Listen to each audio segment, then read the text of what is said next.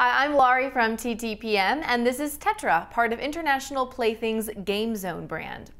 Tetra is a new twist on the classic game of Yahtzee. Instead of dice, players roll eight four-colored tetras and group them according to the color that faces up.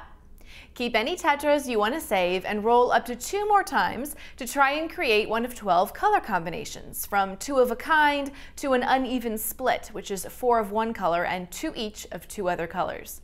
And of course, if you get eight of the same color, you've rolled a Yahtzee.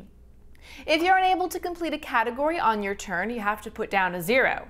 But if you complete all 12 categories, you can play the Call It category, where before you roll, you call out the color you think will be facing up on the majority of the tetras after one roll. If you get it correct, you earn 25 points. After all the categories are complete, the scores are totaled, and the winner is the player with the highest score. The game is for 2 to 6 players ages 6 and up. The colorful Tetra pieces are pretty cool, and the scorekeeping is a bit simpler than that of traditional Yahtzee, making this game great for younger players. For more on this game, including what it costs and where to buy, visit TTPM or download our free app. Shop for Kids by Time to Play Mag for reviews, videos, and shopping on the go.